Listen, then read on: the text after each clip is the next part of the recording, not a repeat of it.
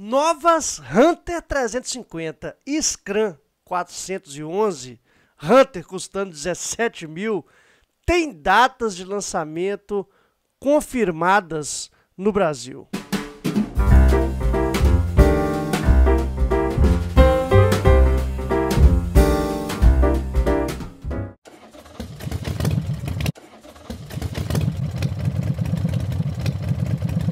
É, americano, bati um papo aqui com alguns contatos aí dentro da Royal Enfield e consegui trazer para vocês aqui algumas revelações que não estão nas melhores do ramo e não estão nos noticiários ainda, né? Talvez daqui uns dias, quem sabe, mas pelo menos comecei consegui desvendar o mistério de datas de lançamento já com dia certinho é, de pelo menos uma dessas duas motos, que é a Scrum 411 e da Hunter 350 nós não temos uma data exata, mas temos exatamente a informação de que ela será lançada no segundo semestre. Não tem uma data certa ainda. Vamos falar um pouquinho sobre isso, vou mostrar aí um pouquinho essa mensagem que eu troquei via WhatsApp para vocês, mas antes eu quero pedir para você, americano, é o seu like, o seu impulsionamento e o seu comentário que fazem com que o YouTube reconheça que este canal tem relevância dentro da plataforma. Então faça o seguinte, pega esse vídeo, compartilhe nas suas redes sociais, nos seus grupos de WhatsApp, né, nos seus grupos de amigos, deixe seu like, deixe um comentário. E o melhor, quer apoiar o canal? Não precisa fazer pix nem doação. Participa do sorteio dessas duas motos custom Mad Max aqui no canal, nesta é, Kawasaki Vulcan VN 1500, linda, maravilhosa, e essa Suzuki Boulevard M800. Como é que você faz, americano? É muito simples. Entra no link que está na descrição aqui do vídeo, que é o soumaiscustom.com.br, adquire uma cota de apoio ao canal e automaticamente você concorre a essas duas motocas pelo primeiro e segundo prêmios da Loteria Federal. Vamos lá, gente, o que está acontecendo? Estamos aí no aguardo né, de mais duas motos para compor o mix da Royal Enfield aqui no Brasil, que são a Hunter 350, moto mais vendida né, e mais bem quista mundo afora, naqueles mercados onde a Royal Enfield está atuando, né, que são vários mercados mundiais, principalmente no mercado europeu, estadunidense. Então, uma moto que, até mesmo por conta do seu preço, que é a mais barata da categoria, ela tem sido bastante vendida nesses países e nessas regiões e provavelmente aqui no Brasil a história não será diferente. Como é que nós sabemos o preço dessas motos? Ou pelo menos da Hunter 350 que está aqui no título desse vídeo. Fazemos uma regra de três, igual já mostrei várias vezes aqui no canal, vou mostrar mais uma vez. Nós temos o preço da Hunter lá na Índia, né, que está na casa das 166.901 rúpias indianas. Nós temos o preço da Meteor, tá? Nós pegamos esse preço fazemos uma regra de três com relação ao preço do Brasil da Meteor. Meteor aqui no Brasil está saindo na casa dos 20.490. Talvez tenha alterado um pouquinho esse valor no site, mas o fato é que pegando esse valor na moeda indiana, convertendo para o real e fazendo uma regra de três, né? É, esse preço aí da Hunter é, 350, ele ficaria aqui no Brasil na casa dos 17 mil reais. Americano, é um preço oficial? Não, não tem manifestação com relação ao preço ainda da empresa, mas nas outras vezes que nós utilizamos essa mesma regra de 3, nós conseguimos chegar bem próximos do preço. O exemplo maior foi a Meteor 350, lá no passado, antes mesmo dela ser oferecida aqui no Brasil nas lojas. Né? A gente fez um levantamento desse, desses preços, fizemos a regra de 13 e chegamos muito próximo é, desse valor. Então, provavelmente na casa dos 17 mil. Eu não vejo essa moto chegando mais cara do que isso, até mesmo porque ela esbarraria no preço da Classic 350, que está na casa dos 19, e preço da Meteor, que está na casa dos 20, 21, 22, né?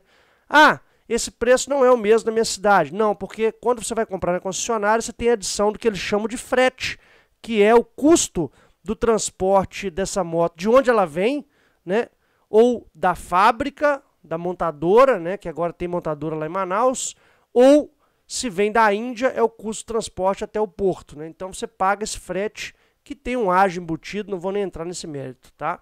Então eu tenho aqui na tela, obviamente eu vou ocultar as mensagens aqui, não posso mostrar nomes, eu tenho aqui na tela a resposta, né? Nós perguntamos aí se essas motos, né, tanto a Hunter quanto a Scrum 411, quando que seriam lançadas, por curiosidade, e a informação que veio foi o seguinte, a Scrum será lançada nos dias 28 e 29 de abril. E a partir de maio já estarão é, já estará à venda em todas as lojas. O preço ainda não foi definido. E a Hunter ficou para o segundo semestre, tá? vai ser lançada no segundo semestre, ainda sem definição de datas. Então, extrapolou um pouquinho aí a informação que a gente trouxe, que seria no primeiro trimestre, virou segundo semestre. Né? Então, teve algum atraso aí. Por que, que ocorre esse atraso? Não sabe, pode ser trâmite brasileiro mesmo de regulamentação dessas motos, de homologação, né, tem vários trâmites aí para que um veículo seja liberado para ser vendido num país. Então, no Brasil, esse processo é moroso e é demorado. Né? Então, aliás, moroso e demorado é a mesma coisa. Né?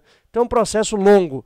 E a Hunter, para quem não se lembra, é uma moto que vem em cima da mesma plataforma da Meteor 350 e da Classic 350, que é a plataforma J da Royal Enfield, com motor aí é, de 349 centímetros cúbicos, monocilíndrico, com 20 cavalos de potência e uma moto que uma plataforma que nós já conhecemos. E a Scram seria uma versão, é, vamos dizer assim, melhorada um pouquinho, ou pelo menos no aspecto externo aí, né? É uma moto que tem a mesma plataforma da Himalaia 411, uma moto também que é bastante esperada, principalmente pelo público mais jovem. Então a Scram chega primeiro, Hunter vem no segundo semestre e se tudo der certo, também no segundo semestre nós teremos a chegada aqui no Brasil da famigerada, tão esperada Super Meteor 650, mas eu particularmente já estou sentindo uma pontinha de que essa moto provavelmente vai ficar para o ano 2024. Não sei se é esse o sentimento de vocês, mas se a Hunter, que seria no primeiro trimestre, já foi jogada para o segundo semestre, a Scan, que seria final do ano passado, foi jogada para abril desse ano, então, a Super Meteor que está prometida para o segundo semestre, provavelmente primeiro semestre de 2024. Beleza, americano? Canal Moto Diário, informações sempre em tempo real dos melhores do ramo. Dá uma moral pra gente aí, deixa seu like, deixa seu comentário, impulsiona esses vídeos nas suas redes sociais e confere a sua inscrição. Se inscreve aí no canal para ajudar a gente a manter esse conteúdo ativo todos os dias aqui nas plataformas do YouTube, Instagram e TikTok. Beleza? Um abraço para você. Um excelente final de semana. Hoje é sexta-feira, graças a Deus. Oxali babá, meu filho.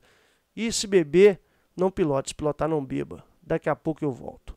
Tchau, tchau. O americano pensou num espaço legal para o motociclista, cara? Então você tem que conhecer o V2 Moto Hub, que é apoiador aqui do canal. Serviço de mecânica, customização, barbearia, lavagem técnica, hotel para sua motoca, bar, restaurante, tudo isso em um único ambiente, cara, além de palco para shows e ensaios de banda de rock. Quer melhor do que isso, papai? Não tem não. É lá que você vai.